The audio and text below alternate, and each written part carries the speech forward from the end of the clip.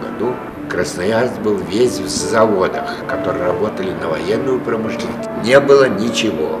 И он создал в филармонии четыре лектория. Прекрасные вокалисты Мила Попова, Нарижная, Беляева, Файтельбер. Номер один считалась музыка советских, зарубежных и русских композиторов. Гениальный пропагандист, он был прекрасным аккомпаниатором. Это была личность. Тогда не было симфонического оркестра. Был большой зеленый театр. С раковины приезжали Томский и Иркутский симфонический оркестр. Они работали в парке при битком забитом зале. Анания Ефимович предлагал им прекрасную всегда программу, популярную среди знатоков музыки и профессионалов. Среди них можно называть Тулунину, Надежду Леонидовну, блестящую пианистку. Анани Шварцбург, Красноярский, делал то, что сегодня делает канал «Культура». Перед каждым концертом в течение двух месяцев делал вступительное слово о том, что будут играть потрясающие концерты.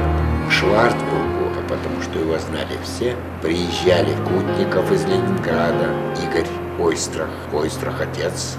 Великолепные пианисты, классики. Он явился предвестником того большого события, которое потом называлось «Превратим Сибирь в край высокой культуры».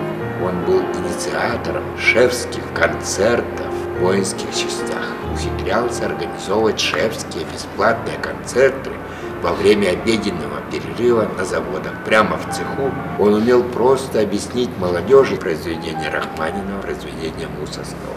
Обстановка в Красноярске была такая, какой может позавидовать любой крупный сегодняшний город. 50-летний юбилей был организован управлением культуры, а я был ведущий. Я сказал, имея много разных знаний, цвети любимый наш Анании.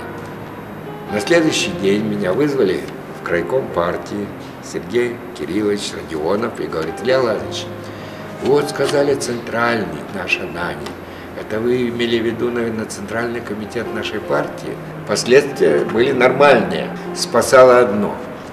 Анани Ефимович дружил со всем руководством тогдашнего КГБ Григорий Афанасьевич Иванов, генерал. Они были друзья. Анани туда ходил всяких пропусков. Может быть, не это. Мне пришлось продолжить то, что делал Анани Венесейский. Культурная среда подготовлена была. Настоящий режиссер, настоящий дирижер и настоящий музыкант – это диктатор. Я его считаю родоначальником того, что сегодня все-таки произошло в нашей культуре. Симфонический оркестр и оперный театр, и ансамбль танца Гаденко – Зачем ездить куда-то за музыкантами? Давайте откроем институт искусств. Заводы важны, алюминий нужен, все нужно, все нужно. Но главное культура и искусство.